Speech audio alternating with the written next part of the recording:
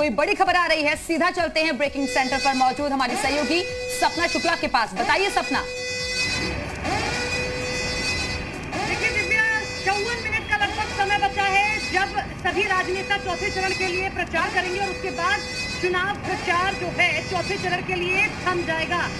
लगभग छह बजे के बाद चुनाव प्रचार नहीं होगा। मुख्यमंत्री योगी आदित्यनाथ को आप सुन रहे थे, लखनऊ की कुछ सीटें हैं जिनके जो प्रत्याशी हैं, उनका नाम भी लिया और लगातार ये भी कहा कि देखिए, मैं निश्चिंत होकर चला जाऊँ यहाँ से, क्योंकि अब जनता हमारे लिए काम करेगी।